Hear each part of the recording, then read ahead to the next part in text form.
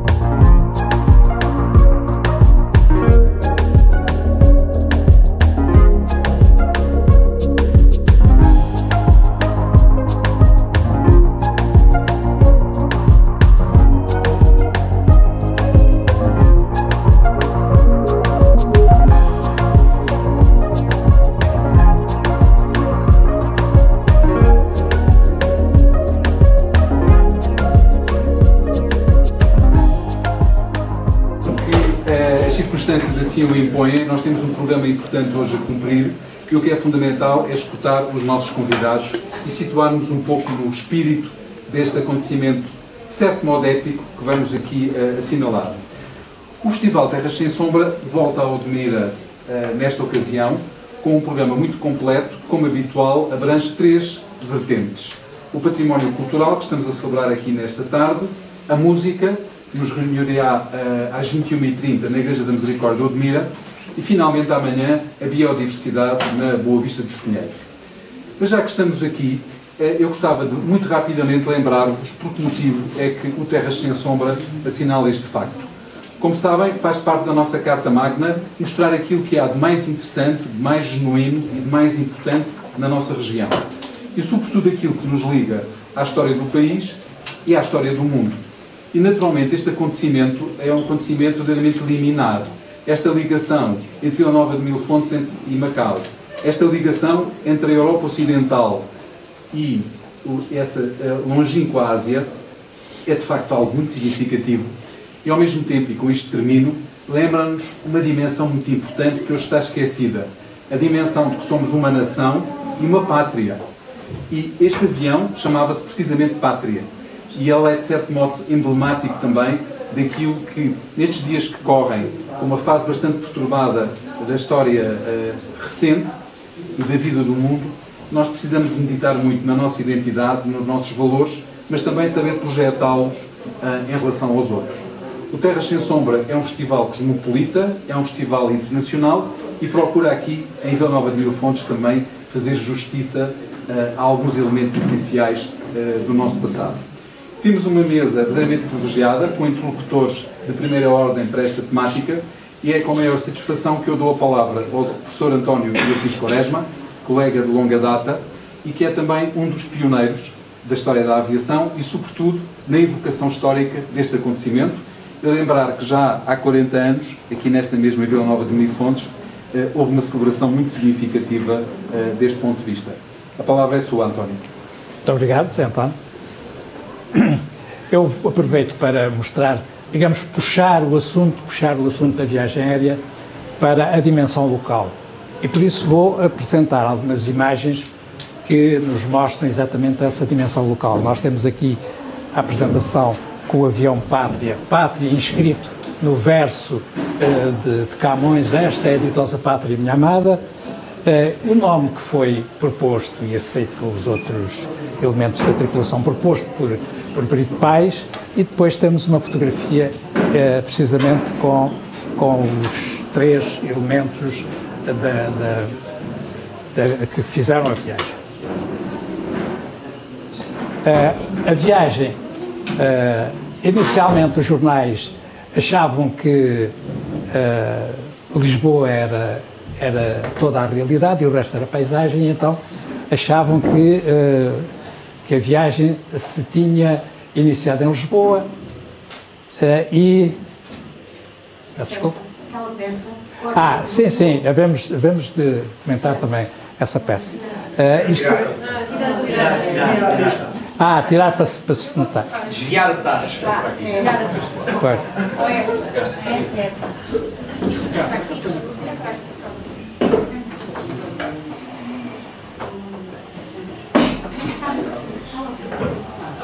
Eh, está ali um passo montanho de, de todos os aviadores e está também um, um fragmento da hélice do, do avião. Eh, é claro que são peças muito sensíveis e por isso estão no estojo e, enfim, as pessoas depois poderão, poderão ver. Eh, sobre a viagem, de facto os jornais inicialmente diziam viagem, o raid, como se dizia na altura, Lisboa-Macau. O Sarmento Beijo sempre se opôs muito a essa designação e, e- e tem com toda a razão, porque de facto eles decidiram partir daqui de Vila Nova de Mil Fontes, por motivos diversos. Uh, Possivelmente depois uh, alguém falará neles. Mas, para já, posso dizer que uh, alguns dos motivos prendiam-se com o facto da viagem se ter iniciado de forma pouco auspiciosa, isto é, uh, os aviadores tiveram pouco apoio oficial, uh, tiveram mesmo até uma série de entraves.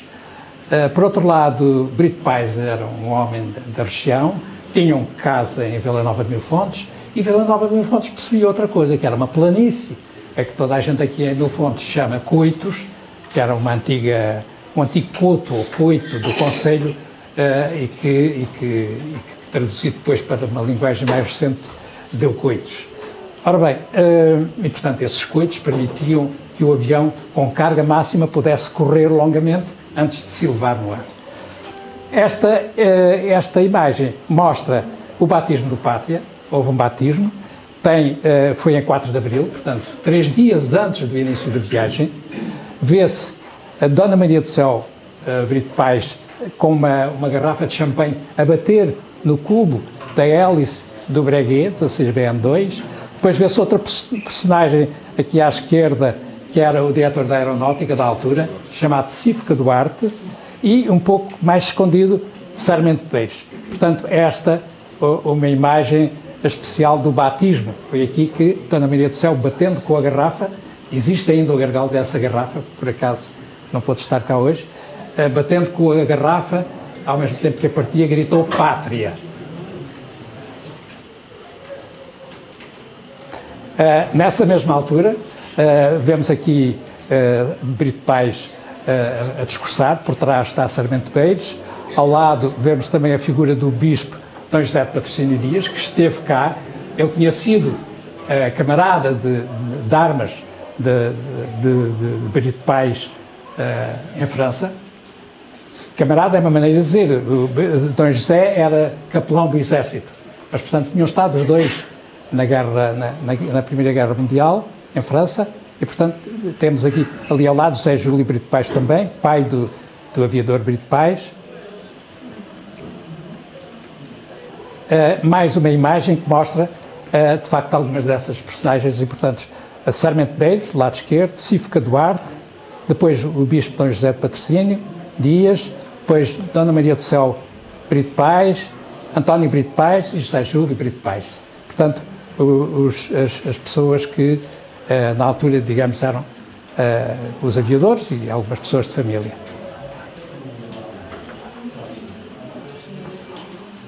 Portanto, este- esta é uma imagem eh, que mostra os dois aviadores do, no avião. Era, e, portanto, Brito Pais era o navegador e comandante da expedição, Sarmento Beis o piloto, e havia ainda o mecânico eh, de seu nome, Manuel Gouveia. Bom, a viagem foi esta, portanto, com cerca de 17 mil quilómetros, se, as contas não, se não falhei nas contas. Eu vou- faço, faço esta, este percurso rapidamente.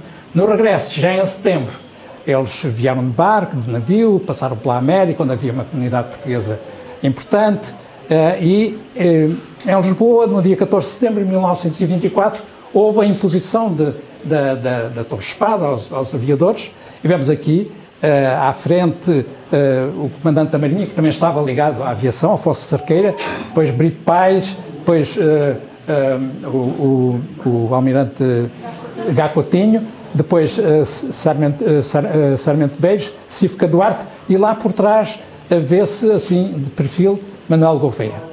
Portanto, isto no Terreiro de Passo, isto foi uma jornada, digamos, gloriosa, porque depois os, os aviadores uh, fizeram uma, um passeio triunfal pela, pelas ruas da Baixa, enfim, não tenho aqui mais fotografias, isto é uma fotografia que faz transição de novo para, para a festa que depois se realizou em Milfons, em 1924 de setembro. Uh, em setembro de 1924, os, avi os aviadores chegam aqui, uh, vêm, novos, vêm aviões com colegas deles, camaradas deles de, de armas, vem muita, muita gente, eles estão de novo aqui eh, nos Coitos, onde, onde, onde, está um avião a pousar, eh, mas vieram mais, veio mais do que este. Uh, veio, isto, isto são fotografias do Diário Notícias. Depois, mas também vieram de barco. Nós temos aqui um, um, um escaler uh, a desembarcar junto de um, de um, pequeno cais que hoje em dia pouca gente sabe onde era. Uh, mas era um cais que sim, era simplesmente uma rocha afeiçoada para embarque e desembarque de, de pessoas. A ver-se no escaler, vê-se Cívica Duarte, a ver-se o Bispo de Beja por trás dele, vê-se uh, Brito Pais, enfim, algumas das, das personagens de, deste, deste, desta viagem. Então. E houve uma coisa importante, que foi, no dia 27 de setembro de 1924, foi o lançamento da primeira pedra para um monumento que depois não foi construído. Ou melhor, foi muito mais tarde construído e já não tinha uma ligação própria com, este, com, este, com aquilo que, foi aqui apresentado. Nós vemos o sítio que é agora chamado Barbacã. Ele, este sítio teve o nome de, de, de Largo Brito Pais. Depois é que uh, construiu-se ali um muro e aquilo acabou por. Uh, no, no, meu tempo, isto não era Barbacã, era passeio. O nome passeio acabou por por cair, enfim, a historiografia teve um bocado de culpa disso. O nome Barbacã foi ressuscitado dos mortos e, e, portanto, hoje em dia, este bocado do Largo Brito Pais acabou por, por se signar de novo Barbacã, que era um nome antigo que tinha a ver com, com, a, com, a, com a qualidade de espaço que rodeava a, a fortaleza. De novo, uma fotografia, vemos aqui uma série de, de, de personagens de, dessa altura, vemos um bispo novo, vemos Sarmento Beis em frente, uh, vemos Chico Duarte, vemos Manuel Gouveia. Desculpa, vai ter que falar mais alto. Eu sei que é difícil porque é assim. Aqui ouvem mal e ali não ouvem nada, então reclamar. Ah, pronto. Ok? Então fala assim uma voz então, efetiva. O microfone Pois. Tem uma lapela. Isto é para fumar. Ah, pois, não, isto é para, para fumar. Uh, bom, então vou falar mais alto. Portanto, nesta fotografia nós vemos aqui algumas das personagens que estiveram nesta, nesta viagem, neste acontecimento. Uh, vemos uh, o Bispo de Beja, que é perfeitamente identificável pelas suas vestes. Vemos uh, a Cívica Duarte, atrás. Vemos Manuel Gouveia, meio, encoberto, meio encoberto. Vemos a seguir a Cívica Duarte, vemos José Júlio Brito Pais. Vemos depois Sarmento de Beis. Por trás está eh, está Brito Pais, vemos o, eh, o Afonso Cerqueira ao lado, portanto, uh, isto no sítio onde depois foi construído, muito mais tarde foi construído efetivamente o monumento. Ora bem, na altura, e eu vou terminar, na altura foi feita uma ata em, com cerca que, que, foi assinada por cerca de centena e meia, pouco mais de, de, de, pessoas. Nessa altura temos que ter atenção que grande parte da população era analfabeta, portanto não sabia sequer assinar, mas esta é a ata que foi, foi, foi redigida na altura da colocação da primeira pedra do monumento comemorativo, em 27 de setembro de 1924, um monumento que só foi construído depois em 1993 e que nós depois devemos de ver. Tem uma longa história também, mas que não é caso, não, é, não vem agora para o caso. Espero não ter demorado muito. Nós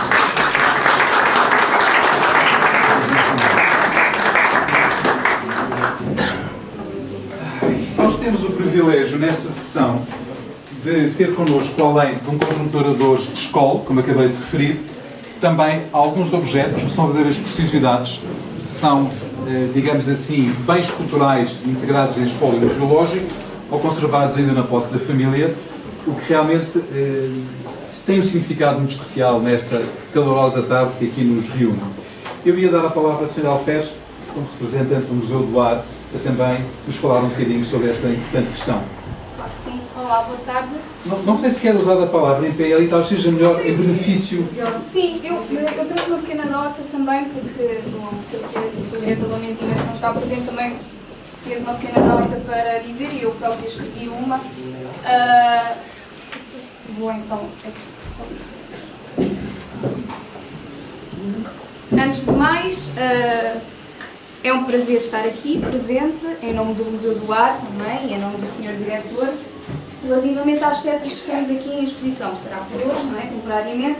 Nós trouxemos o Passo Montanha, utilizado por Brito Pais, e parte da hélice do Pátria 2, o segundo avião utilizado. Obviamente, no espólio temos muito mais objetos, objetos muito sensíveis, desde uh, documentos, também em exposição e em arquivo. Todos os objetos foram, praticamente todos, estive a ver o relatório, foram todos doados pela família de Brito Pais, obviamente bem conservados, temos tanto no Museu do Ar em Sintra, como no polo do Museu do Ar em Alberca. Uh, portanto, convido a todos a visitarem uh, as nossas duas exposições. Deixo só ler aqui então a nota. Antes de mais, permitam-me expressar o meu prazer em estar aqui presente, a representação do, Museu do Ar e do Sr. Diretor, que lamentavelmente, devido a compromissos de serviços anteriormente assumidos, não conseguiu marcar presença neste importante evento. No entanto, o Sr. Diretor deixou uma breve mensagem que irei partilhar convosco adiante. Para já, é destacar e enaltecer o feito que aqui abordamos, o raio de Lisboa-Macau, esta missão audaciosa, liderada por Brito Paz, Sarmento Beis e Manuel Gouveia, foi uma realização notável no contexto da aviação da sua época. Este feito pioneiro ganha uma relevância não apenas por demonstrar mais uma vez a capacidade da aviação portuguesa em cobrir distâncias intercontinentais, não esquecemos a travessia Atlântico Sul, realizada há anos antes, mas também por simbolizar a determinação e a coragem dos militares envolvidos. O planeamento da viagem foi marcado por dificuldades financeiras, uma vez que o Estado não pôde contribuir para as despesas da expedição, pelo menos numa fase inicial. Neste sentido, Brito Paes, Charmento Beis e Manuel Gouveia precisaram de contar com entusiasmo popular para alcançar o sucesso nesta grandiosa jornada. O Aeroclube Portugal desempenhou aqui um papel fundamental na organização do raid, nomeando uma comissão dedicada a esta missão, mas a viagem também contou com a generosidade dos familiares, principalmente da família de Brito Pais e apoiantes da causa, assim como o apoio de principais, dos principais jornais da época, Diário Notícias, o Jornal do Século, que abriram as suas colunas a publicações e agarições de fundos alusivas à viagem e honra da aviação portuguesa. O raio de Lisboa-Macau abrangeu mais de 16 mil quilómetros e atravessou múltiplos territórios e diversidades Inicialmente, a expedição contou com o Pátria, um Brega 16, um avião pesado de bombardeamento noturno, utilizado na Primeira Guerra Mundial. Portanto, no entanto, após uma aterragem forçada na Índia, que causou danos irreparáveis no aparelho, foi necessário adquirir um novo avião, um Dégula, apelidado Pátria 2. O Pátria 2 prosseguiu a jornada e alcançou Macau a 20 de junho de 1924. No entanto, um temporal dificultou a aterragem e a tripulação, constituída por Brito Paz e Sarmento Peixe, o, Manuel Oveia acabou por não seguir neste segundo avião, exatamente pela limitação da capacidade do avião, e acabou por realizar uma aterragem em território chinês. Posteriormente foram transportados para Macau, onde foram recebidos com grande entusiasmo e celebração pela população local. Este desfecho triunfal ressaltou a coragem e a resiliência demonstradas por estes pioneiros da aviação portuguesa que enfrentaram adversidades com determinação e perseverança. Neste sentido, o Museu do Ar, aliado às comemorações do centenário do raio de Lisboa-Macau, assume o compromisso de contar a história do raio, enfatizando a sua significativa contribuição para a aviação e para a identidade nacional de Portugal. Este compromisso materializa-se através da preservação de um acervo relativo à viagem, bem como através de exposições e programas que destacam este feito histórico. Além disso, o museu procura sensibilizar o público em geral para a importância deste evento, podendo incluir colaborações com outras instituições de interesse, como ocorre no presente contexto. Concluindo, partilho a mensagem do Sr. Diretor. Apresento os respeitosos cumprimentos aos membros do painel, à organização e aos assistentes.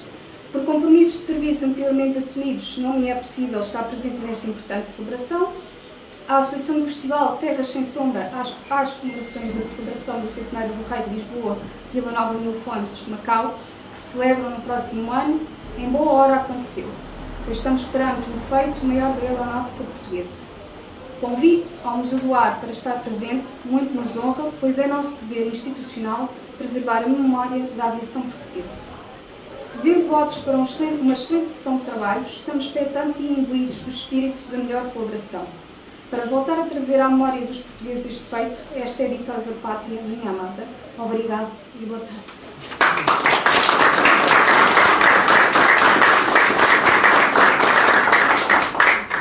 Muito obrigado, Sr. Alfés. Então passamos ao nosso terceiro interlocutor desta tarde, que é a Sra. Dona Maria Leonor Brito Pais. Acho que ou não é o, o- não é o engenheiro. Não, já sequência. Ah, peço desculpa. Que realmente tem a particularidade de ser uma das netas, um dos netos deste, deste aviador e, portanto, é assim uma presença também muito tocante eh, do ponto de vista humano e certamente emocionante para todos nós. Querida Leonor, a palavra é sua. Muito obrigada. Eh, Excelentíssimos senhores, espera angular do Dr. José António Falcão, excelentíssimos senhores Junta da Freguesia de Vila Nova de Fontes, excelentíssimos senhores Câmara Municipal de Odmira, excelentíssimos senhores Força Aérea Portuguesa, excelentíssimo senhor Dr. António Martins Quaresma.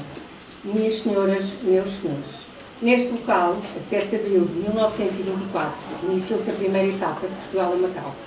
Encontramos hoje, a escasso meio ano da celebração do centenário da viagem que tornou maior a aviação portuguesa e abriu o caminho para o futuro. Em outubro de 1934, após a morte do avô, que não conheci, também aqui, a cerimónia do lançamento da primeira pedra para o monumento alusivo aos aviadores no ponto de, no ponto de onde tinham partido. Em setembro de 1993, acompanhei o meu pai na inauguração da estátua, no largo, com o nosso nome, percebi a dimensão do feito e o porquê dos inúmeros atos de homenagem em que o meu pai partici- participava como filho de Brito Pais. Em 26 de 5 de 2017, já com a responsabilidade herdada, tive o privilégio de acompanhar o evento em sua homenagem na Escola de Colos e senti o porquê do meu avô se sentir honrado por ter nascido na herdade dos Malveiros, junto a Colos.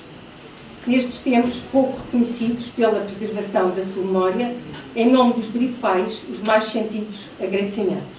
Muito obrigada.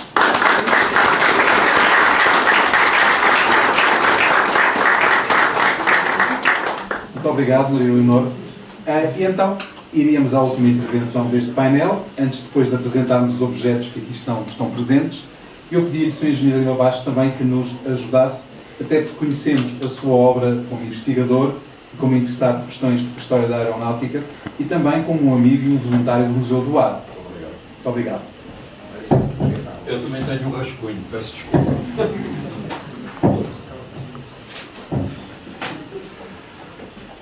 Em primeiro lugar, eh, é com muita honra que estou presente neste evento eh, e também que por ter aceito convite eh, da doutora Maria Leonor Brito Paz para, eh, cuja amizade já vem de longa data, eh, para participar e integrar esta comissão organizadora da ligação de Portugal a Macau. Para mim e para, os- para o, para o país todo foi uma, uma grande epopeia, logo a seguir à travessia aérea do Atlântico Sul, realizada por Sacador Cabral e Gago Coutinho, dois anos antes. Na Balac ainda ninguém falou, mas foram percorridos só 16.380 quilómetros nesta viagem a Macau, em 115 horas e 45 minutos, em 24 escalas e paragens técnicas e interrupções burocráticas, verificando-se que realizaram meia volta ao mundo em 80 dias. Eu menciono isto porque, eh, na, to- na totalidade desta distância aérea empreendida pelos dois aviões Pátria, realizaram praticamente metade da volta ao mundo, eh, em 80 dias. E aqui tenho que referir uma citação de Gago Coutinho e também de Saramente Ribeiros, num livro Portugal a Macau, ou A Viagem do Pátria, também em 1924.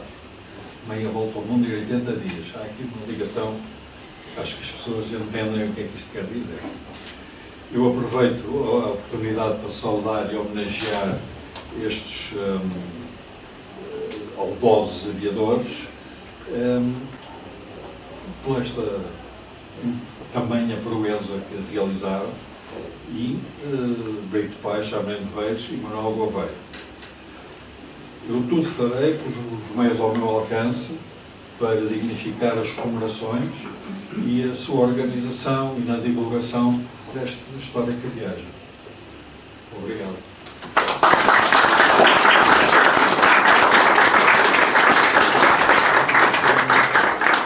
Se nós estivéssemos num espetáculo de ópera, talvez pudéssemos chamar esta sessão desta tarde uma anteprima, ou seja, é uma espécie de pré-inauguração ou de preparação uh, da grande finale, que vai ser naturalmente o ano de 2024. Portanto, eu diria que começamos com o pé direito, naturalmente, nesta perspectiva.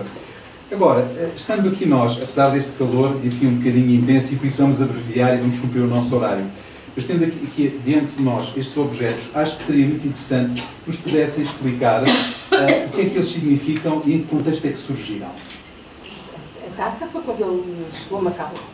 Não, não chegou, não é? Uh, e a floreira uh, também. Portanto, foi quando eles chegaram a Macau. Foram as autoridades coisas. de Macau? Eu, não, eu penso que sim. São as únicas coisas que eu tenho em casa. O resto está tudo no museu do arte. Portanto, o colo dele, inclusive dos jornais. Pronto, e mais escola, de facto, se não está aqui. Ele tem uma sala só dele para, portanto, o espólio os papel de garrafa, o sabonete, a bússola de voo, uh, sei lá, o relógio, uh, tantas coisas. Os mapas, é? Os mapas, exatamente. Uh, pronto, está tudo no Museu do Ar em cima. Uh, estes são os únicos objetos que eu tenho, portanto, em minha posse, porque está tudo no Museu do Ar. Depois, daqui a 24 será, será diferente, não é? foram religiosamente transmitidos dentro da família, até porque o aviador morreu relativamente cedo, em 1934, na verdade, num acidente, num acidente aéreo. Sim, voar, E relativamente às outras peças que vêm da coleção do Museu do Ar, que é que podemos saber, Sr. Alfés? O passo montanha, o que chamamos de passo montanha, atualmente temos aquele capacete de voo, uh, o passo montanha utilizado durante a viagem, portanto, que utilizou durante a viagem científica no fundo de Natal, de Brito Pais. Uh, normalmente era sempre acompanhado com os óculos de voo, não é? Uh, muito típico nós conseguimos ver nos filmes durante a Primeira Guerra Mundial é, é a imagem típica da época, o passo montanha e os óculos de voo. E temos parte do fragmento, é um fragmento da, do segundo avião do Patria 2, que já era um da Eviland, uh, que temos também na, em exposição na Sala dos Pioneiros do Museu do Ar, em Sintra. Uh, este está em Sintra, já está em Sintra, sim. Juntamente com a bússola, com o mapa, uh, com o relógio de bolso, também. Sim, sim. muita coisa temos realmente, é muito, muita coisa. É, é Alguma coisa que não dá para expor. É, tem, tem arquivo, sim. Estava aqui a comentar também com o Sr. Engenheiro que acabamos por. Uh, queremos pôr muito, mas depois também temos de ter cuidado com a preservação das peças, não é? E também para o público em geral tem que ser legível. Não, não podemos colocar lá apenas as peças e depois ficam lá e as pessoas não conseguem realmente tirar nenhum sentido daquilo. Então temos de ter algum cuidado na exposição. Um, para, uh, para a exposição em 2020, em, 20, em 2024 relativamente ao centenário. Aí já vamos, à partida, ter uma exposição itinerante. Também temos de ter o tal cuidado com as peças, porque estamos a falar é itinerante, ou seja, implica ser, serem transportadas. Portanto, há peças que, inevitavelmente, não poderão ser transportadas, porque o risco é, é, é muito grande. Uh, portanto, talvez o Passo Montanha seja uma dessas peças, ainda, ainda é algo que vamos, vamos planear. Relativamente à, à documentação, por exemplo, temos uh, uh, muita documentação, uh, dizia, comentei aqui com o Sr. Engenheiro, que até teríamos mapas que estamos com dificuldade em perceber se são da viagem ou do planeamento da viagem, na verdade é que eram de Brito Pais, e também contamos uh, com conhecimento da família e também de, de quem sabe, não é? Para, para nos ajudar aqui, para criarmos aqui a narrativa, não digo perfeita, mas uh, a mais uh, viável e a mais fiável na, na, durante a exposição das peças. Nesse, nesse, alguns desses mapas até têm recados uh, trocados entre os, entre os dois. Por acaso o que encontramos tinha uh, cálculos, lápis. Ah, mas esses mapas tiveram.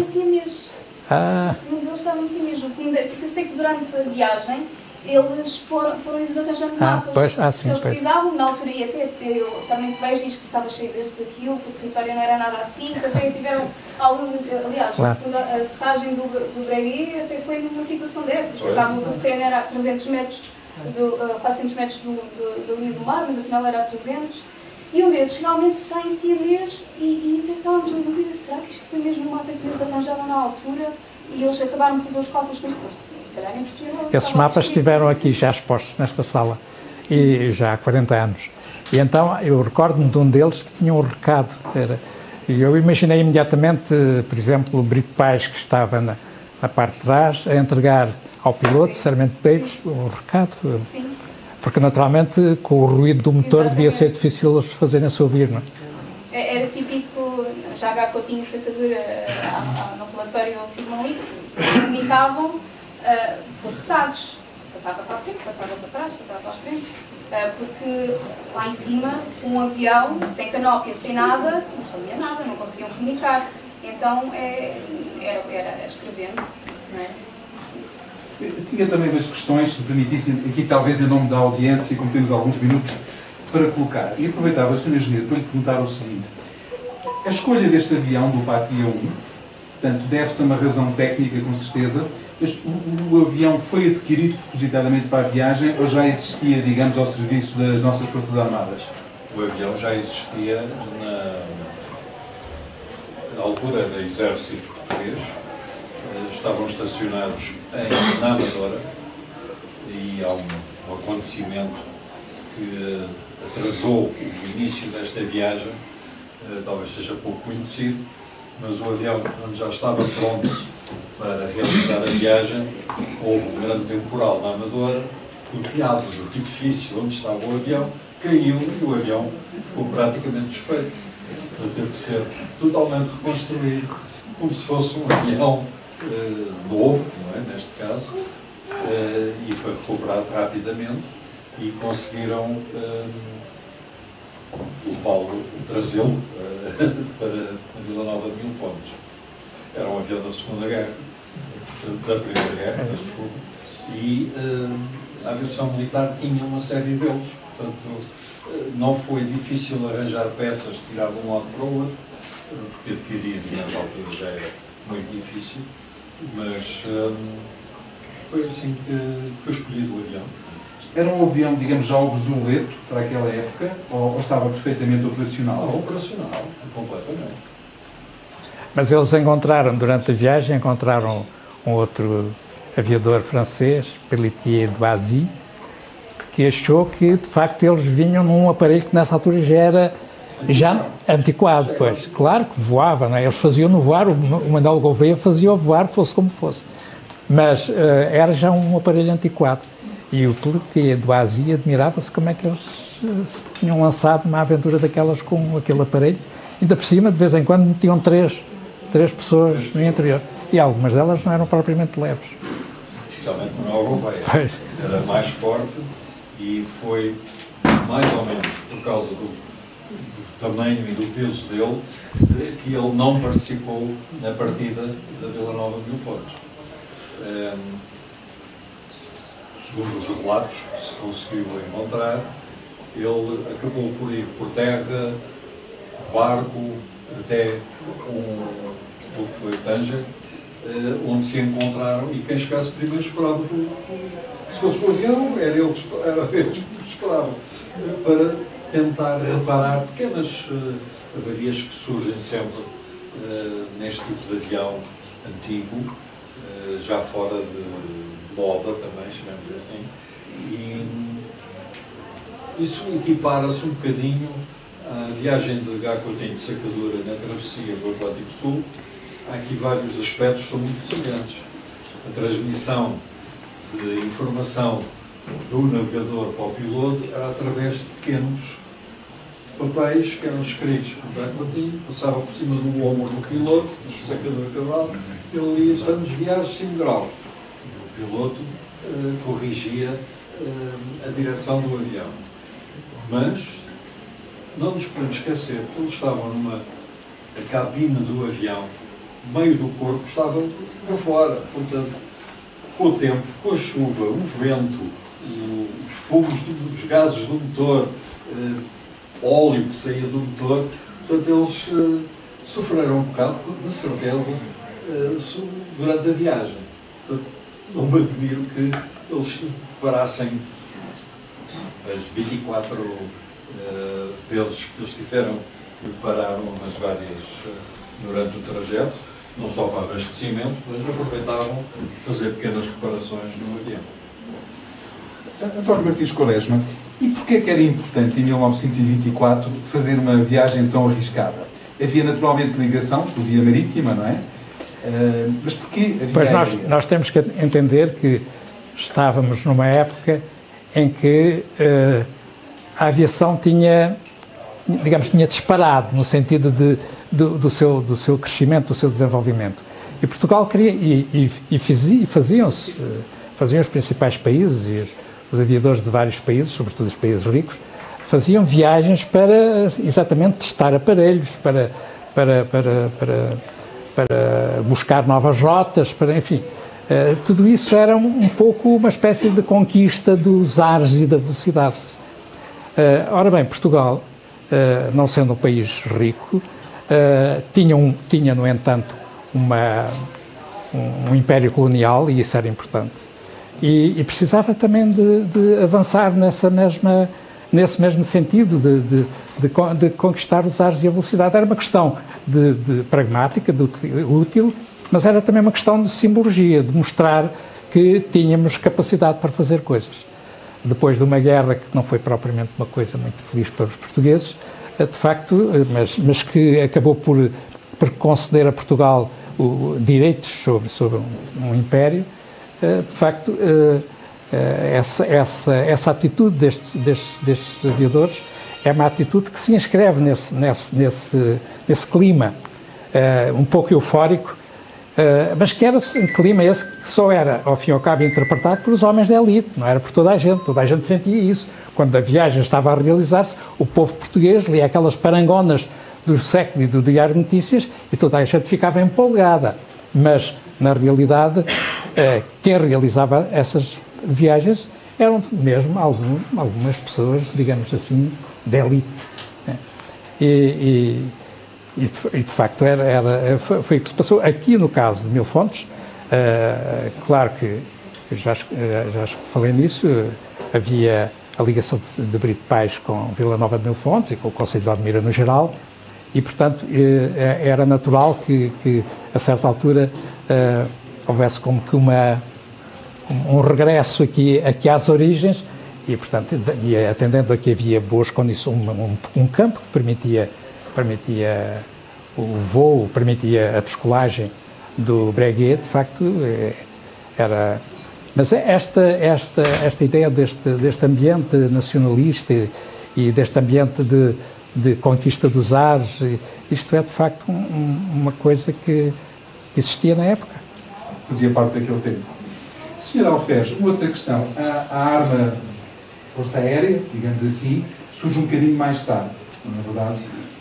Estes feitos eh, tiveram alguma influência nisso? Ajudaram a criar, digamos, um ambiente nesse sentido? Eu faço-lhe a pergunta porque sei que, além da, da sua carreira de oficial, é, é, também minha colega, é licenciada em História, não é? Sim, sim. Portanto, certamente já se debruçou sobre isto e sobre as origens da Força Aérea. Não esquecendo que a Força Aérea surgiu em 1952. Portanto, como ramo autónomo, já estamos a falar de uma época diferente, já pertencia, Portugal já pertencia à NATO. Portanto, já houve também uma influência externa para a criação da Força Aérea, isso não podemos esquecer. Portanto, a partir do momento em que Portugal entra na NATO, há, há certas influências, não só na Força Aérea, no Exército em geral, na defesa nacional, em que, que, que depois influenciam outras decisões internas. Uh, mas, obviamente, que já na criação da aviação militar, havia uma separação entre a aviação naval e, e a aeronáutica militar. Portanto, logo aqui há uma preocupação na missão, uh, efetivamente, dentro da arma do Exército. Uh, obviamente que isto até à criação da, da Força Aérea, fala, falamos no, no ramo de, de, aviação militar no geral, mas internamente sempre houve uma preocupação uh, em criar ou apostar no ramo aviação militar e no ramo aviação naval.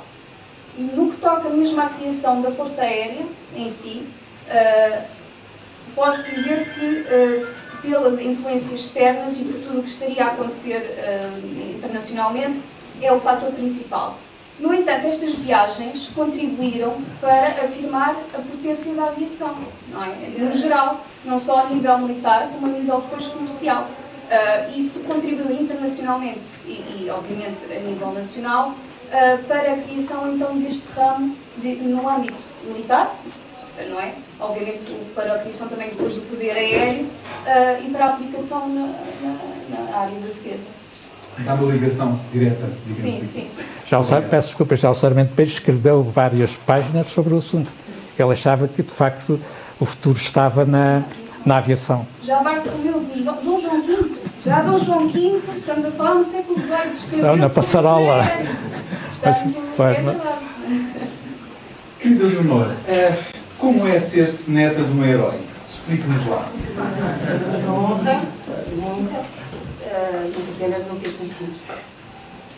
E espero que foi excelente. Mas a memória conservava-se viva na família? Uh, sim, sim. O meu pai. O que é que ele contava sobre o pai dele? Uh, o pai foi um bocado fechado nesse aspecto. Não sei se nos ouvem aí atrás. Sim, sim. Mas era um bocado fechado. Uh, não é que poder de diálogo branco, sabe? Era, era um orador. Sim, sim. Que eu, uma pessoa não tem que ser tudo escrito, modéstia. Era um verdadeiro orador. Era um orador. Verde. Pronto, e era uma pessoa que tinha, tinha muita vaidade. Uh, ser filho de quem era, não é? De facto, foi um herói. Uh, era uma pessoa muito nova e muito boa. E, cá está um grande orgulho que ele tinha. E que dar isso do meu pai, não é? Obviamente não ter conhecido, meu pai perdeu por 9 anos. Há uma revista, uh, na altura, que fez uma, uma, um artigo sobre a morte Sim. do Coronel Brito Paz e dizia a morte de um, um herói e de um santo. Enfim, isto é um não, pouco. Não tenho mais em casa. Pois. Sim, não tenho mais em casa. Mas há estas duas valências. Era a mentalidade dela, era, era. Sim, digamos sim. assim. Sr. Engenheiro, eu ia pedir para encerrarmos esta pequena mesa redonda. Uh, certamente há muito mais coisas para nos dizer. O que é que aconteceu ao segundo Pátria? Ficou lá, uh, terras de, de, Macau, terras de Hong Kong? Não, não. Uh, foi recuperado, foi a Marinha, na altura, recuperou os restos do avião e, e veio para Portugal. Não sei para onde é que foi, não sei onde ficou, Uh, sei que algumas peças uh, apareceram entretanto.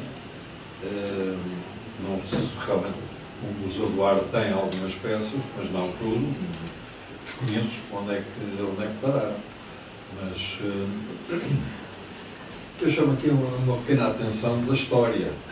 É que Sarmento Peitos, não sei se sabem, ele em 1920 fez uma tentativa um, de um voo para fazer a ligação entre Portugal e a Madeira, a Ilha da Madeira. Uh, há muitas pessoas que não, não conhecem bem essa história, mas devido ao nevoeiro, sabe-se, contudo, que voaram sobre a Ilha da Madeira porque uh, parte da população ouviu o ruído do ar através do nevoeiro que estava, portanto eles chegaram, conseguiram atingir a Ilha da Madeira, mas não puderam aterrar e, eh, infelizmente, regressaram e, como não tinham combustível suficiente, infelizmente tiveram que pousar na água, e muito bem pensado, numa zona onde passavam alguns navios eh, de comércio ou mercantes e apanharam, acabaram por apanhar, serem apanhados à boleia para regressar a Portugal. Eles, esse voo foi também um bocado esquisito da história, foi feito à revelia, quase que ninguém sabia uh, que eles iriam fazer aquela viagem, prepararam o avião em segredo, uh, descolaram da Amadora sem, sem conhecimento de ninguém e fizeram essa tentativa. Infelizmente, uh, não, não concluíram o objetivo. Como? Não, não, isto é para. Isso é a história de, da morte. Do acidente de faleceu. Mas em relação a essa viagem é uma coisa curiosa porque há uma há a viagem à Madeira é que eh, eles quando regressaram eles foram repreendidos pela, pela, enfim, pelo comando, foram repreendidos por desobediência e foram louvados por bravura. Exato.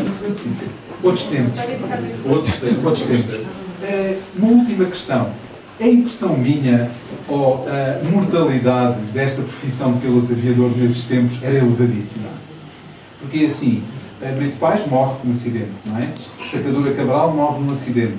Uh, e quem conhece um bocadinho os. Temos que ir ainda mais para trás. Oh, mesmo assim. Quem conhece um bocadinho estes primórdios uh, sabe que a mortalidade era de tal ordem que até há em Sintra a tradição da noiva do aviador, não é? Que é, pelos vistos, é uma figura mais ou menos fantasmagórica que ainda assombra as instalações da base aérea, não é? Sim, sim, isso já foi retratado. Existia uma noiva, julga-se que de Secadora Cabral, nessa altura, um, e que também visitava uh, o cemitério onde estava Gacotinho uh, e também uh, Secadora Cabral, mas ninguém sabe quem era. Uh, era a viúva, a noiva, não se sabe. Mostra bem a dificuldade, de facto, que esta estatística apresentava nesses tempos. a estatística é diferente. Um acidente aéreo do que uma morte normal, não é? Infelizmente há acidentes, ou incidentes também, eh, que chamam acidentes. É mais fácil dizer acidente, mas também não foram assim tantos casos como isso, felizmente. Não é? Mas não deixaram de construir, continuar a voar, fazer aviões, fazer, felizmente, podemos viajar em segurança para qualquer parte do mundo, uh, os aviões atuais, com muito conforto. E não no desconforto que estes uh, incríveis aviadores suportaram. Muito bem, então desde Ícaro, terminamos um bocadinho aqui este capítulo. Eu ia, mais ainda. Eu ia convidá-los a apenas tocarmos aqui uma breves palavras de agradecimento e vamos seguir em direção à Barbacã para continuarmos esta nossa ação. Eu só desculpa a Câmara Municipal de Admira e a Junta de Freguesia de Admira tem umas recordações para dar. Junta de Freguesia de Mil Fontes. Mil Fontes, desculpa, senhor Secretário, peço desculpa, a cabeça já está no concerto. Eu pedi ao Dr. Francisco Martins e ao Sr. Secretário da Junta de Freguesia que, então, fizessem as honras das vossas casas.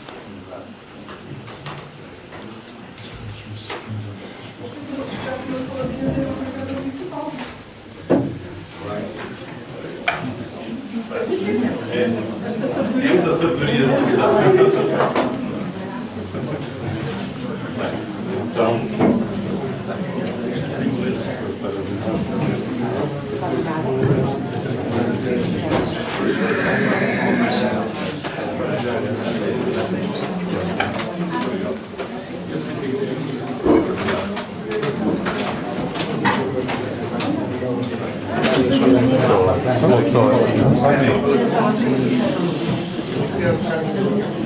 Muito boa tarde a todos. Queria só agradecer em nome do município de Odmira a presença de todos os que aqui estão presentes, em particular à família Brito Pais, uh, que, que, já vi que está aqui em peso. Uh, dar nota que o município de Odmira está envolvido uh, nas comemorações do centenário. Estamos já reunimos com algumas entidades, com a própria família. Uh, haverão uh, momentos não só aqui no Conselho, mas também em Lisboa e Macau. Portanto, será uh, uma programação ao longo de todo o ano de 2024, como o feito o, o merece e o exige. e, portanto, em nome do município que quero agradecer é realmente toda a disponibilidade, todo o interesse e dizer que da nossa parte tudo faremos para que seja realmente um sucesso e a homenagem de vida que o Conselho também deve, uh, em título histórico, à família Brito Pais aqui ao Conselho. Muito obrigado. Muito obrigado. também agradecer aos seus pais e agradecer a disponibilidade sempre a vir aqui isto continue a ser um sucesso para o futuro. Muito obrigada.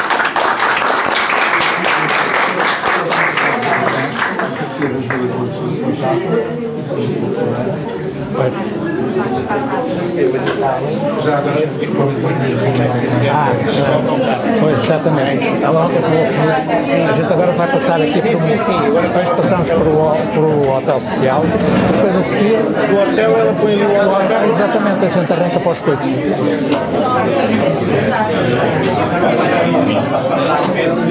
Este é o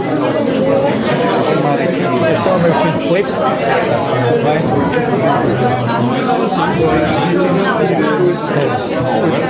As pessoas para lá, se dispersa-se tudo. Vai, vai,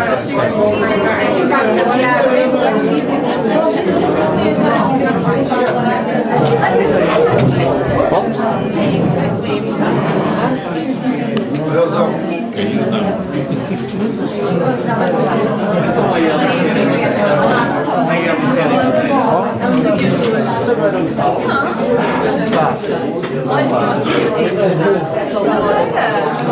próprio tema história, não é verdade, Dr. Martins Pereira? Deixa-me passar aqui para, para, um plano mais alto, então porque sendo eu baixinho, ops, preciso de, às vezes de um auxílio.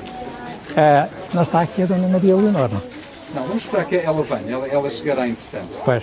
Acho que podemos começar, de qualquer modo. Bem, como se recordam há bocadinho, vimos uma vimos duas fotografias em que há, aqui neste mesmo sítio, a colocação do, da primeira pedra do monumento, em 1924, em setembro de 1924. Esse monumento ficou esquecido até, até 1993, ou melhor, não foi até 1993, foi na altura em que se comemoraram aqui os 60 anos da viagem aérea. Nessa altura recuperou-se a ideia do, do, do monumento, houve donativos para a construção de, do monumento uh, e, finalmente, em 1993, com a ajuda na altura da Junta de Freguesia, até mesmo da Câmara, e com esse dinheiro que tinha sido, tinha sido recolhido há algum tempo antes, decidiu-se fazer um monumento. Na altura houve um concurso, um concurso público, uh, concorreram quatro artistas e, e, o, e o projeto que ganhou foi este, uh, de, da autoria de Geraldo Cardoso e de Soares Branco. Uh, o projeto que ganhou foi este, isto é, foi um projeto semelhante a este, porque tinha, na realidade, uma escala muito maior, uma, uma, dimensão muito maior, e era colocado ali junto ao parapeito. Na altura foi chamada a atenção dos, dos artistas que, de facto, eles deviam uh, ter em conta a escala do sítio onde iria ser colocado, e, e acabou por ser colocado aqui no sítio exatamente onde foi lançada a primeira pedra. Na altura também houve algumas discussões sobre o assunto, eh, eh, mas pronto, acabou por a própria Junta de Freguesia, que é proprietária deste espaço, acabou por, por dizer que era, resolvia-se o assunto com uma decisão da Junta de Freguesia que fosse aqui. o monumento não foi, portanto, a, escolha deste monumento não foi assim consensual, houve algumas votações, um desempate, inclusive, mas pronto, foi, o, foi o, que, o que aqui está. Em setembro de 1993, uh, eh, ele foi, foi feita aqui uma cerimónia de inauguração. Eu há bocadinho estive a falar que debaixo do monumento nós encontraram-se algumas moedas da época, de 1924, como era hábito, não é? colocar-se umas moedas, e havia duas moedas de prata que estavam manchadas por inabres das moedas de cobre, enfim, tudo foi plastificado, até ali na Junta de Freguesia, e foi colocado de novo. Uh, Juntaram-se mais algumas moedas do, dos tempos de 1993 e essas moedas também, dentro de plástico, plastificadas, também foram colocadas aqui. Na altura uh, foi, foi feita aqui uma cerimónia com algum, com algum impacto. Uh, estavam, estava ali montado um palco onde, onde se encontravam os convidados e as pessoas que de facto, uh, enfim, tinham alguma coisa a ver com a viagem. E, e nomeadamente estava aqui o engenheiro Fernando Brito Paes, que era um pai da Dona Maria Leonor, que era de facto um orador, tinha uma, uma capacidade, um dom, tinha o dom da palavra e que preferiu palavras emocionantes. Eu deixava agora uh, Dona Maria Leonor. Pequenina, muito pequenina.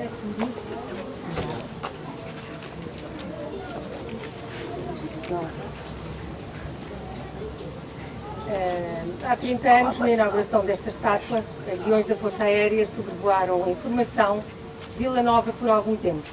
As manobras efetuadas e o espetáculo facultado levou-me a recordar o avião Pátria, pensar como foi possível escrever esta página da nossa história. Muito obrigada a todos.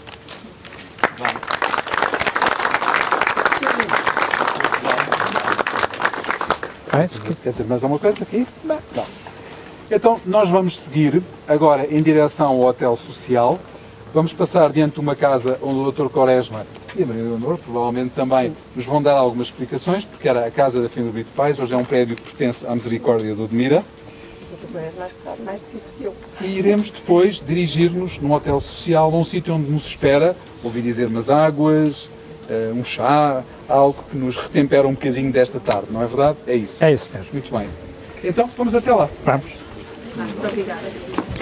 Queria chamar a atenção de uma coisa. A família Brito Pais, os vários ramos da família Brito Pais, tinham casa de colegiatura em Vila Nova de Mil Fontes. Uh, esta casa que está aqui mesmo atrás era de um dos ramos da família, de Odmira, e aqui do lado esquerdo havia uma propriedade que era constituída por esta casa, que não é uma casa, enfim, que nós podíamos considerar uh, senhorial ou isso assim, mas que foi a casa onde os aviadores passaram os últimos dias antes da viagem.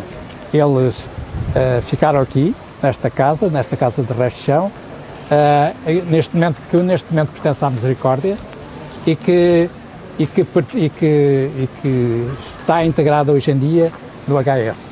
Portanto, o próprio o, o proprietário, o, o, empresário que dirige o HS, uh, eh, suponho que, vai, que, pretende, uh, que pretende fazer ali uma espécie de lugar da memória, uh, evocando exatamente os aviadores e a viagem.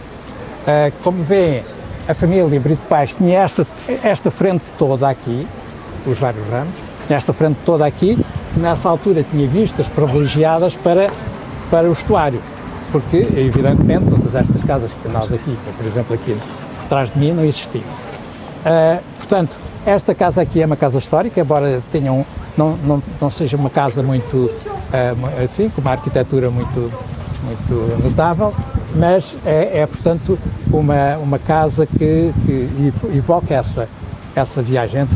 Sabe-se que eles, uh, no dia 5, nos dias anteriores também devem ter feito, mas no dia 7, perdão, no dia 7, eles montaram-se, os aviadores, Brito Pais e Sarmento Peixe, montaram-se numa carrinha puxada por uma égua, subiram esta, esta rua, que vai aqui em frente, voltaram lá mais adiante à esquerda e foram na direção, numa, numa, na direção de que nós, nós depois tomaremos daqui a pouco. Na direção então do, estai, do tal Campo dos Coelhos, a tal terra de, de conselhia que servia para os moradores apacentarem os seus, os seus gados. Portanto, era uma terra conselhia que hoje em dia depois foi, foi, foi vendida. Uh, portanto, uh, há aqui neste, nestes espaços ainda vozes que nos que nos chamam para essa, para essa epopeia de, da viagem de Portugal-Macau. Eu digo sempre Portugal-Macau como o Brito País, como, perdão, como o Sarmento Pérez dizia e praticamente exigia. A, a, a expressão Rei de Lisboa-Macau é a tal expressão jornalística de, de 1924. Uh, mas que, enfim, Fez a sua história também. Tá, também fez a sua Oh, história. António, já que estamos aqui, eu acho que era também de justiça evocarmos uma outra figura, que é a irmã, é a irmã do, do aviador Brito Pais, que é a Dona Maria Júlia Brito Pais Falcão, que é uma benemérita, uma mulher que faz muito pelo património do Conselho de Odmira, não é? Uh, finalmente, a família, portanto, esta propriedade era da família. Uh, uh, a última pessoa da família que deteve a propriedade de todo este espaço, portanto, a casa e mais, mais algumas centenas de metros quadrados para, para, para Poente, foi Dona Maria Júlia Falcão. Dona Maria Júlia era também irmã do, do aviador, António Brito Pais, e, e de facto foi uma pessoa que ficou por aqui e ela teve ao longo da sua vida, ela nunca chegou a casar nem teve filhos, portanto, uh, mas ao longo da sua vida ela teve uma, uma atitude sempre de benemérita, sempre uma atitude muito interventiva na área social. Inclusive chegou a, fazer, a, a criar uma pequena colónia de férias que chamou de São José e as crianças vinham aqui para esta casa e um e pouco também para ali, para outra, logo a seguir, que também pertencia à, à família. Portanto, era uma pessoa que, de facto, uh, ficou conhecida como uma pessoa muito interventora nas questões uh, sociais e, e, até nas próprias questões do património construído. Porque algumas das obras feitas em algumas igrejas do Conselho de Almira, a saber, Colos, Relíquias e Val de Santiago, ela é que, as, é que custeou essas obras.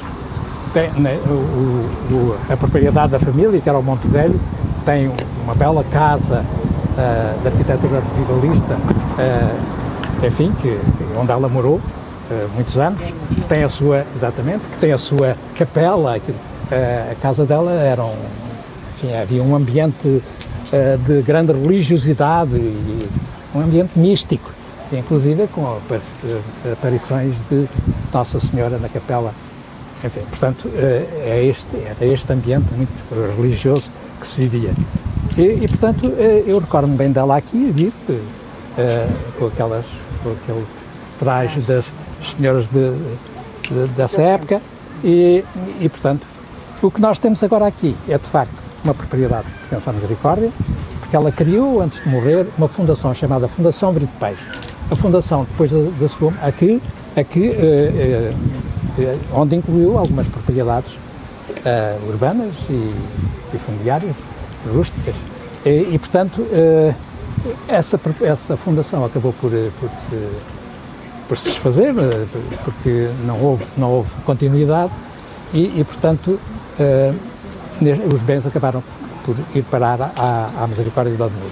Está. Uh, e, portanto, neste momento, como digo, a misericórdia arrendou a propriedade, o hotel, às, ao Jan Viger, que é um empresário de origem holandesa, mas que já mora, enfim, já os pais tinham vindo para cá e que dirige com muita competência o Hotel Social.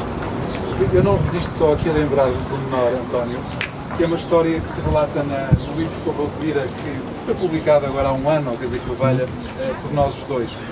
Numa das paróquias, talvez Val de Santiago, há a certa altura um diferente entre a Sra. Dona Maria Júlia e o parque. E o parque tenta pôr esta paroquiana na ordem. É verdade. Escreve umas coisas um bocadinho, enfim, um bocado duras contra a senhora. E a senhora diz-lhe, vamos, o senhor é que é aqui o forasteiro na minha paróquia. Na minha paróquia. É uma coisa extraordinária de um paroquiano dizer ao parque, não é? O senhor é que está na minha, numa das minhas paróquias. Das minhas paróquias. Agora, o curioso disto é que o senhor Bispo de Beja dá razão à paroquiana e não ao parque. Portanto, é, ela teria os seus motivos certos para uh, dizer o que dizia, não é? Tinha poder. Tinha poder. E provavelmente teria razão, que talvez é muito importante. Pois, talvez. Poder. Poder, pois. Nós falamos claro. muito da história ao feminino, temos aqui um exemplo, enfim, em tempos em que isso não era tão frequente. Claro. Muito bem, vamos então à nossa próxima paragem. Então, o Santa Casa da Misericórdia não é parte do Estado, não?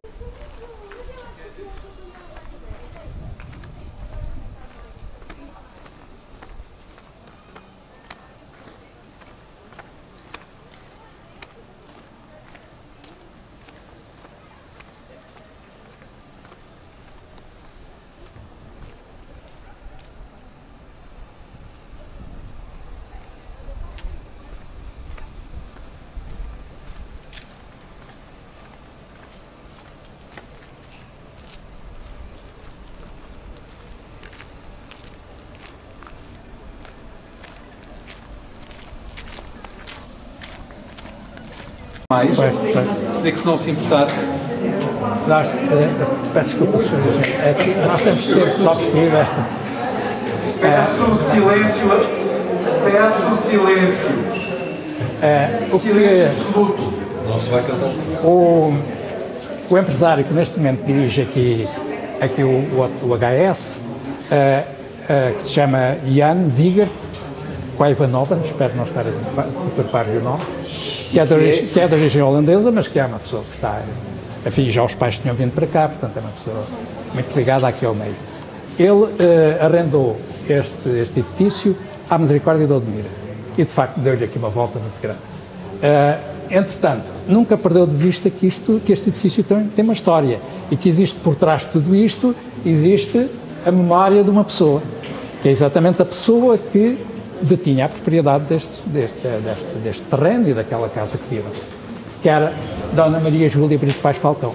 A Dona Júlia Falcão, como toda a gente lhe chamava, e que, eh, e que cuja fotografia foi publi- publicada por, por aquele nosso amigo, Falcão de Lima, Joaquim Falcão de Lima, eh, e, que, e, que, e que está aqui, enfim, um pouco trabalhada, eh, e tem depois uma, uma legenda a evocar exatamente essa, essa situação.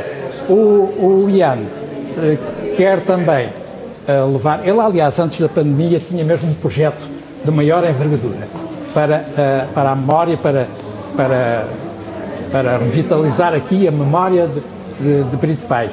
Mas depois veio a, a pandemia, vieram algumas dificuldades económicas e ele adiou um bocado isso. De qualquer modo, eu sei que ele tem intenção de, eh, naquela casa que nós estivemos, a- estivemos, nós estivemos a ver, eh, tem intenção de, de criar ali assim, uma espécie de lugar da memória também relacionada com, com a Dona Maria Júlia e também com a viagem aérea e com António, eh, António Brito Pais.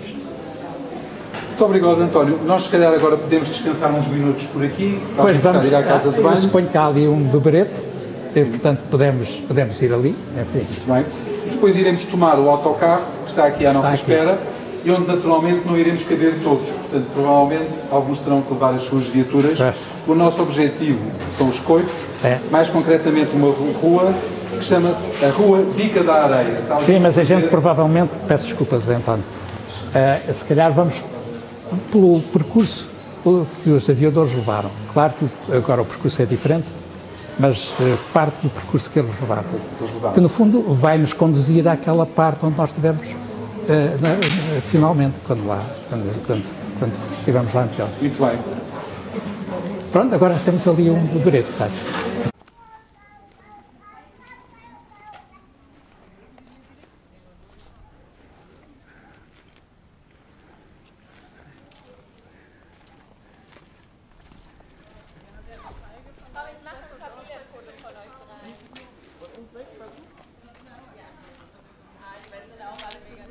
Final, nós temos a honra de ter connosco o professor Ian Peck, que vai atuar na, na Igreja da Misericórdia agora às 21h30 e que é um grande violoncelista.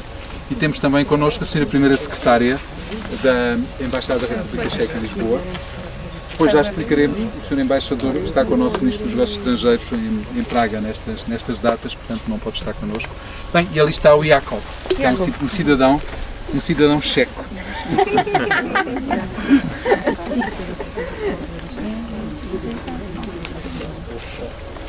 Aqui está-se bem melhor do que naquela sala. Nós esperamos só um bocadinho para os nossos colegas, porque há pessoas corajosas que vieram a pé e merecem agora essa nossa consideração. Falo coito, mas esse era outro coito. O biscoito significa duas vezes cozido. Esse era não assim. É? Ou duas vezes cozido. Não percebi porque entre todas as cidades de Portugal foi escolhida Vila Nova de Mil Fontes para o início desta viagem. Tem muito a ver com, a, com um uma terreno que era um personagem que era o António Jacinto Brito Pais. Ah, então com- ele era da região. Tinha casa aqui em Mil Fontes. Uhum. E atendendo a que eh, o início da viagem foi complicado porque não tiveram apoio do Estado, tiveram antes, pelo contrário, muitos obstáculos à oposição. Ah, e sabendo o António Brito Paz, que era daqui, tinha cá a casa, que havia aqui um bom espaço, uma, uma planície onde os aviões poderiam levantar, eles acabaram por escolher Vila Nova de Fontes. Então transportaram de Amadora por aqui. Sim, sim, vieram, eles, eles vieram alguns dias antes da Amadora, porque a Amadora era o único campo, campo de aviação em Portugal. Eles vieram cá para Vila Nova de Mil Fontes, ficaram aqui alguns dias, fizeram o batismo do pátio eh, e do pátio que era o avião. Aquele nacionalismo. né? E cá apanhar logo à noite. E, e portanto, Ora, esses muito bem. Eu penso- foram passados aqui até dia 7. Estamos, estamos praticamente todos. Obrigado. Porque não percebi esta parcial. Comprou a casa aqui após o início do golpe. Ou Antes. Sim, sim. Isto pique, eu não estou sentindo. Estava bem gostar. Ora, muito bem. Doutor Quaresma, nós estamos aqui só eh, a fazer uma coisa que não é adequada, é que estamos à sombra deste pinheiro. Não havia pinheiros na altura, havia havia pinheiros só aqui. canas, mas sobretudo nós precisamos ir se calhar para o sol para perceber depois como é que esta pista se prolonga sobre o oceano, não é? Minha pobre careca irá reclamar, mas, mas se calhar é o melhor. Se calhar é o melhor, não é? Então vamos avançar uns passos mais, se não se importarem.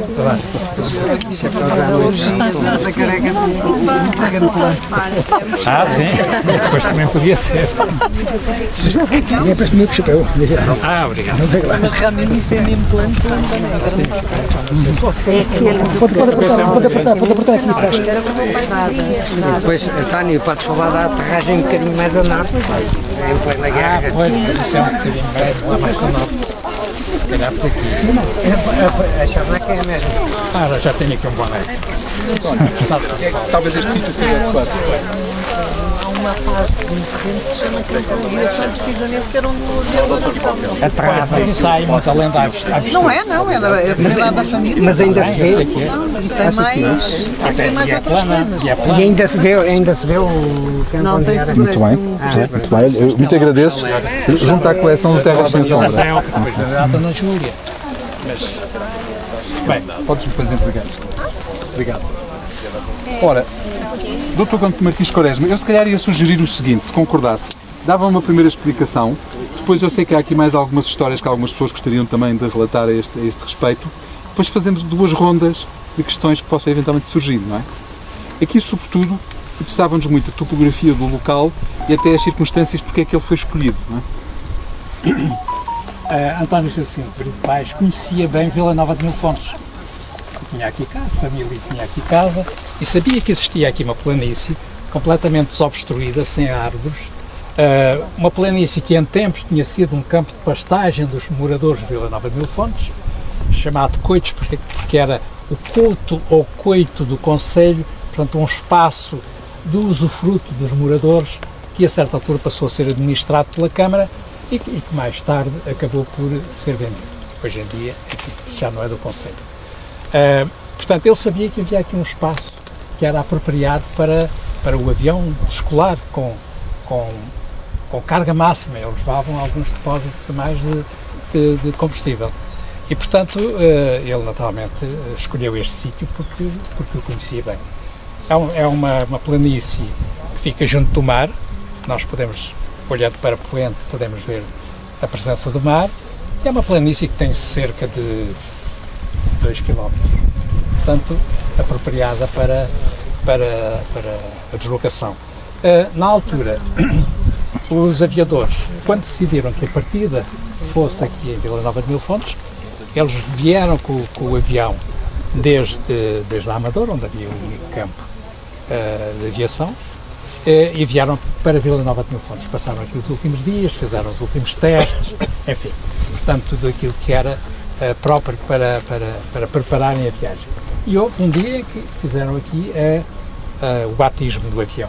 O avião estava estacionado aqui aproximadamente onde está a carrinha, um pouco mais para lá, e, e, e, e já nessa altura havia aqui estes, estes valados de canas, e portanto as canas aparecem nas fotografias, nas fotografias da época. Portanto, foi exatamente aqui. Houve um problema na altura. O tempo estava mau. Muita tem uma tempestade grande, com muito vento, muita chuva, e, e eles a certa altura começaram a adiar a viagem, a adiar a partida. Eh, só que, eh, como o avião estava aqui completamente a descoberto, eh, com, tem- com o temporal vindo de sudoeste, temporal forte, eles eh, ficaram com receio de que o avião pudesse sofrer avarias graves. E então, no dia 7, mesmo com mau tempo, decidiram partir.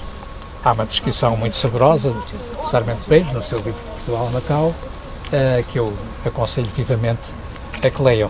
Há uma reedição feita recentemente eh, pela Universidade do Porto, sob a direção da professora Isabel Marujão, em português e mandarim, essa ligação de Portugal e da China, eh, na, altura partia de Macau, e portanto há- é um livro que eu recomendo, porque é um livro que se lê com muito, muito agrado, é uma, uma história de, enfim, uma, um conto de aventuras, uma história de aventuras, Ave- aventuras verdadeiras, aventuras que se passaram eh, efetivamente. Portanto, eh, aconselho vivamente que, leiam esse livro, que tem, teve agora a sua quarta edição. Eh, pronto, eu eh, não iria dizer agora mais nada, esperaria, como disse o António. Havia aqui um, um aspecto interessante e talvez os senhores nos pudessem ajudar um bocadinho, que tinha que ver propriamente com a navegação de um, um aparelho deste tipo. Não é? é um aparelho relativamente rudimentar e até um pouco perigoso, como já vimos, não é? Um bocadinho. E depois ainda por cima Um bombardeio marçal.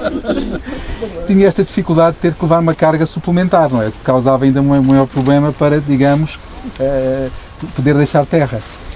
Ah, isto era um sítio adequado para isso? Funcionava bem nessas circunstâncias? por ser plano, acho que foi uma boa ideia. Ehm, e não sei, desconheço, mas julgo que aqui os ventos predominantes são do norte. Por isso é que eles descolaram nesta direção, naquela direção. Eh, não era, eles não queriam ir para o oceano, ainda por cima, era exatamente ao contrário. Mas eles tinham que aproveitar o vento para poder descolar e estabilizar o seu voo e depois dar a volta, não é? Eh, julgo, julgo confirma-me que aqui os ventos devem ser de norte. Sim, mas nesse No dia verão. provavelmente estavam de sudoeste. Isto por um motivo. É que estava, é que estava, tempesta- estava uma tempestade. E as tempestades normalmente vêm deste lado. Depois, esse combustível, trazê-lo para aqui, também deve ter sido uma operação logística, não é? Ah, porque nós já soubemos, e há porque estava há bocadinho ah, a Maria Leonora a lembrar isso, o avião foi rebocado por uma égua, não é? A boneca. Que- a boneca, Era a boneca. que o puxou até aqui. Sim, sim. Pois, mas o avião pousou logo aqui. Eles, vieram, eles foram transportados numa carrinha puxada para, para a boneca. Sim, boneca. O avião É. pousou aqui e ficou aqui junto ao- aos falados, eh, estacionado. Estacionado, eu- pois aqui também não existia hangares, não é? Normalmente Não, os aviões têm ficado dentro de hangares Era para ficarem protegidos. Era, isto ficou, ficou completamente. Não, já no século XX, normalmente tem aberto, ficado- exatamente. o Grupo de Esquadrilhas de Aviação República, apesar de muito rudimentar, já tinham uns hangares a proteger os Bem. aviões, o que é por isso tinha que estar isto tudo muito bem planeado. E isso era o receio deles, quando viram o tempo a, a, a, a avolumar-se, portanto a ficar eh, tempestuoso, eles tiveram receio que o aparelho sofresse. Porque aqui, exatamente num sítio desabrigado, era, era muito provável. Eles puseram eh, dois depósitos extra no avião. Eh, mas, por isso é que o mecânico não pôde ir com eles. Ele também era grande, pesado. É isso, vais por terra e havemos de encontrar lá algures, não é? E assim foi. E assim com aquela quantidade de combustível, eles sabiam que mais ou menos no norte da África, algures, eles teriam que abastecer novamente. Era sempre algures, eles não sabiam bem onde é que iam. Portanto, era o combustível que determinava o isso. combustível é que determinava, os ventos, eh, a altitude, as temperaturas, se apanhavam muita chuva ou não, eh, tudo isso, havia imensas variáveis. Não é? Ainda hoje, no- na aviação normal, eh, tem que se contar com uma série de dificuldades. Mas, portanto, uma máquina destas consegue tomar terra praticamente em qualquer sítio também, não é? É, é mais flexível. Quer dizer, desde que seja plano, não tenha. Não esteja alagado também com as chuvas, também. Qual é a altitude que atinge? A altitude? O máximo na viagem talvez 800 metros? 600, entre 600, 800 sim, metros. Mais não. É curioso que eles aqui eh, eles sempre- eles queriam sempre terra à vista. Pois, Portanto, sim, não, sim. não- Claro. Eles evitaram subir o mais eles possível. os mapas, isso. E com, Para irem. mapas Claro. rudimentares que também havia na época, eles eh, controlaram a situação assim. Eles travaram aqui os aviões com duas pedras nas rodas. E, e o Sarmento Beiras eh, disse, "Epá, mas as pedras, pá, porque é que não as guardaram? De facto, se nós agora tivéssemos aqui as pedras, era, era assim um, um momento especial, não é? calhar é a Era pedra do momento se. Depois, hum, eles iam atravessar naturalmente vários territórios, vários países, precisavam de uma autorização para poder aterrar nesses sítios, tinha havido um aviso prévio às autoridades desses locais que eles iam. Sim, já tinha existido planeamento. No relatório há dois sítios em particular em que não conseguiram planeamento, então, autorização, então descartaram eh, no planeamento disseram, nós não podemos esperar que isso aconteça alguma coisa, aqui é que não pode ser. De resto, o- já, estava, já era expectável a chegada deles, eh, trabalharam muito eh, próximo do, do cônsul eh, em cada país e não tiveram boas memórias da Pérsia, dificultaram muito na Pérsia, aliás o relatório é bem explícito isso, em termos burocráticos, foi, aliás, confiscaram o passaporte e não os deixaram sair. Aliás, o Manuel Gouveia houve uma altura que queria só ir ver o avião, se ainda estava lá, estava tudo ok. Parece que o viram lá perto, sacaram logo das armas e disseram, vocês não vão lado nenhum, porque eu tenho os vossos passaportes, vocês aqui não saem. Portanto, tiveram ali uma crise, ah, mas depois acabou por, eh, por se resolver. Uh, portanto, as 24 etapas já estavam planeadas e previamente autorizadas, tirando, obviamente, ali, ali na, na- Mas não tinham propriamente um apoio logístico, quer dizer, não havia navios que os iam acompanhar, Não. nada disto, Não, como aconteceu não. com, com, com o H. Coutinho e com o Sacadura Cabal. Não, não. Quer dizer, atenção, nessa altura a logística era no ponto de partida e no ponto de chegada, não era a meio caminho. atenção! Bem, podemos dizer que tiveram ali algo, eh, logística não em termos de... de... A logística de reabastecimento, Sim, neste caso. Sim, ou de qualquer reparação que fosse necessária, por Isto não exemplo. era Isso, no isso meio não. do mar, com Sim, certeza. Portanto, esta- estavam por conta deles, digamos assim. Estavam por conta Mesmo do ponto de vista mecânico. Ah, Sim, claro, sim. claro. Eh, como é que foi nessa viagem? Que o mecânico teve que subir à asa para ir fazer uma pequena reparação. sim, sim. Já não lembro qual foi a viagem, agora estou confuso. Mas o, um, o mecânico, durante a viagem, houve uma ruptura do depósito de combustível, portanto até podia-se incendiar o avião. Ele trepou pela asa e conseguiu remendar em voo. Em voo? Em voo. Num sítio estacionado. Não, ele agarrou-se bem, vale, ele conseguiu lá chegar. E reparou. Essa fuga foi reparada. Não há dúvida que estes homens merecem um monumento e merecem que os lembremos no centenário, não é? E aquela viagem à Madeira, a partir para a Madeira, num avião de rodas é sempre um risco, não é? porque se eles não acertam na Madeira, onde é que pousavam? Pousaram no mar? Pousaram no mar. É um susto aterrar na madeira mesmo. E por acaso era as fotos disto não houve ali grandes problemas. António, talvez para concluirmos, porque enfim, o tempo não perdoa, uma última pergunta. Tinha que ver com o seguinte. A população de Mil Fontes acompanhou eh, todo este processo e esteve presente na saída do avião? Sim, a população da Vila de Fontes, sim. E, e mesmo até a população que veio eh, de, de outras, por exemplo, da Vila de Odmira, eh, há notícias de que, de facto, vieram pessoas de propósito para assistir. E o próprio Sarmento Beires diz que, enfim, que via os vultos das pessoas e ouvia o ruído do mar e tal, e, mas, e, e faz esta analogia, se isto era tudo gente do mar. Enfim, não seria tudo gente do mar, mas havia aqui muita gente. Eh, na altura, e, enfim, eh, não, não há fotografias, pelo menos que eu conheça, desse, desse porque isso também foi ainda antes do, do amanhecer, e portanto se- terá sido por isso que não, não, não fizeram fotografias. Mas, eh, mas havia muita gente, sim. Ora, muito bem. Eu, eu queria agradecer a todos. Faz favor. Tiraram fotografias do avião e dos lugares nos quais pararam.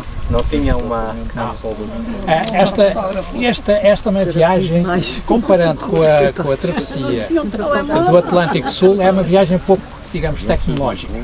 Na travessia do Atlântico Sul usaram o sextante, aperfeiçoado por Gago Coutinho, e, e aqui não, aqui eh, eles iam, eles levavam os mapas, iam observando o território e assim é que iam progredindo. Teríamos um grande patrimônio fotográfico hoje. Ah, claro. Mas há o diário. Sim, sim. E há algumas fotografias, mas não, não fotografias é. Obrigado. Isso ficou na, na cabeça deles, na memória deles, né? mas Há um programa de refazer um novo. Já foi feito um novo voo. eh, nos anos 80, salvo. Ah. Mas não deu assim muito. 93. 93? Pois.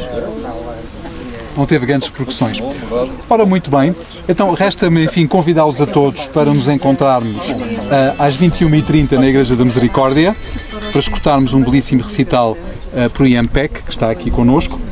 Ah, agradecer aos oradores desta tarde, muito obrigado a, a, a vossa belíssima prestação. Pedir desculpa pelo calor, mas estas coisas, enfim, fazem parte. Ninguém imagina que nesta altura de outubro pudesse estar um dia assim. Ah, e dizer-vos, enfim, que é uma satisfação ter, ter podido partilhar estes conhecimentos e é também este um bocadinho o papel do, do Terras Sem Sombra. Portanto, os meus agradecimentos aos oradores, os meus agradecimentos também ao, ao Museu do Ar, à Junta de Freguesia Vila Nova de Mil Fontes e naturalmente à, à Câmara de Odmira, que é a nossa parceira nesta, nesta iniciativa. Muito obrigado e até às nove e meia.